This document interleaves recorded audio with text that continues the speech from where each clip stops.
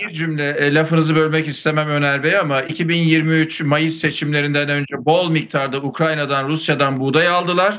Çünkü bu buğdayı KDV'siz ve gümrüksüz ithal edip fabrikalara verdiler. 7,5 lirayken buğday 4,5 liradan verip ekmeğin ve simidin fiyatının ucuz olmasını sağladılar. Bir seçim yatırımıydı bu ve ondan sonra Türk çiftçisinin buğdayına TMO'nun silolarında yer kalmadığı için Türk çiftçisinin buğdayını da toprağa gömdüler. İşte Sayıştay raporunda e, görev zararı olarak 800 milyar lira para açıklandı. Daha detay açıklanmadı. TMO geçen sene bundan dolayı milyarlarca lira zarar etti. Bu da bir AKP klasiğidir. Evet.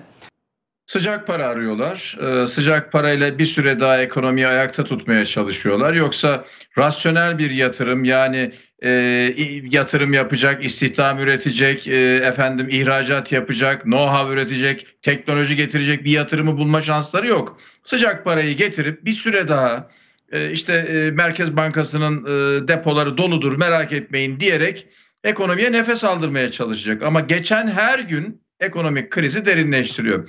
Siz üretmediğiniz sürece, insanların karnını doyurmadığınız sürece, istihdam sağlamadığınız sürece, ihracat yapmadığınız sürece bu sorunların çözümü mümkün değil. E neydi? Şimdi Gaye Erkan karşılamaya gidecek. Gidecek tabii. 300 bin lira maaş alıyor. Hem de çalışmadan maaş alıyor. 2-2,5 sene daha alacak. Daha şurada geçen sene bir açıklaması vardı. 57 trilyon dolarlık yatırım masamızda diyordu. Demedi mi bunu? Dedi. Dedi. Bir kuruş geldi mi Türkiye'ye yatırım Milyon yapıldı mı? mı? Bunların Milyon işi gücü hayal satmak. Dedi. İşi gücü hayal satmak. Kendi ülkenizde çocuklarınız yatağa aç giriyor Sayın Erdoğan. Aç giriyor çocuklarınız. Çocuklarınız büyüme gelişme geriliği yaşıyor. Sen böyle bir atmosferde çocukların okullarını temizleyemiyorsun. Tuvaletler kir içerisinde. Çocukların okullarına sabun alamıyorsun. Kalkmışsın Türk Hava Kuvvetleri'nin kargo uçağına o zırhlı araçlarını almışsın ta Amerikalara gitmişsin. Ondan sonra kamyonların etrafını süslemişsin. Sanki sünnet çocuğu gezdirirmiş gibi. Efendim dünya beşten büyük. Hiçbir anlamı yok. Yaptığının hiçbir anlamı yok. Bütün dünya Erdoğan'ın Amerika'da yaptıklarına gülerek bakıyor. Eğer sen gerçekten büyük bir devletsen sözünün ağırlığı olur. Ülkeni korumak, kollamak için Rusya'dan S-400 füzeleri almışsın.